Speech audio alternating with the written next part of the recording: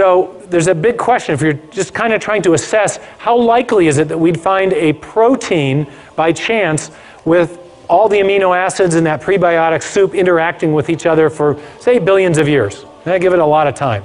How likely is it that we'd ever get a protein to arise by chance? So I have a colleague who's been interested in the whole question of whether or not life could arise by chance for a long time. His name is Doug Axe. He's a molecular biologist. He did his PhD at Caltech. He worked for 14 years at Cambridge University, and he wanted to find out how common or how rare are the functional sequences of amino acids among the big space of all the possible amino acids there are. And he came up with a really amazing number.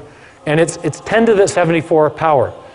So just to get the amino acid sequenced properly, you've got an odds of about 1 in 10 to the 74. But there's other probabilistic hurdles that have to be overcome. If you want to build a protein, we learn, we know from chemistry that, that you have to attach the amino acids together with what's called a peptide bond. In nature, peptide bonds occur with about a 1 in 2 in a 1 in 2 frequency.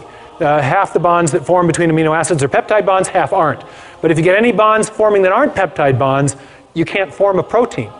So to form a protein, 150 amino acids long, you've got a 1 in 2 chance at each site of getting the correct type of linkage. So you got 1 and 2 times 1 and 2 times 1 and 2 times 1 and 2 to the what power?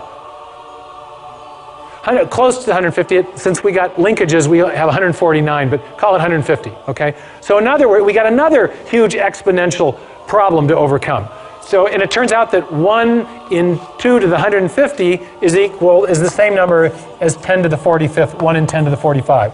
So now we've got two incredibly improbable things that we've got to overcome to build a functional protein by chance alone. One more problem. When you're building proteins, amino acids come in two flavors. There's a left-handed flavor and a right-handed flavor. They're called optical isomers, not flavors, okay? And the left-handed version is the only kind that can be used in building proteins. You get even one right-handed amino acid in there and your protein won't fold properly. So you got another probabilistic hurdle to overcome. So you've got a 1 in 2 chance at each side again out to the 150th power. 2 to the 150th power, again, is 10 to the 45. Oh my goodness. So the odds of building even a short functional protein by chance alone is 74 plus 40. You can remember how you do this in math? You can add the exponents if you're multiplying exponential numbers. 164. Thank you very much. Okay? Wow. Now, can anyone get their mind around a number that big? There's only 10 to the 80th elementary particles in the entire universe. There's only 10 to the 16th seconds since the, the Big Bang. There's only 10 to the 139th total events since the, the beginning of the universe. Now, now, you're starting to get the uh, understanding of why people are very skeptical that the chance hypothesis is, is going to do the job. Now, you may have heard just the opposite. Has anyone ever gotten in a discussion with you about the origin of life and said, hey, it happened by chance? I mean, do you hear that? I mean, uh, this happens to me. I'm out and I'll be lecturing in hostile university environments, and I'll, I'll get done, and somebody say, well, but, but, and they want to argue with me about the probabilities. And, and I just shut the discussion down because I say, no serious scientist thinks this is the way it happened. No serious scientist thinks this is the way it happened. No serious scientist thinks this is the way it happened. No serious scientist thinks this is the way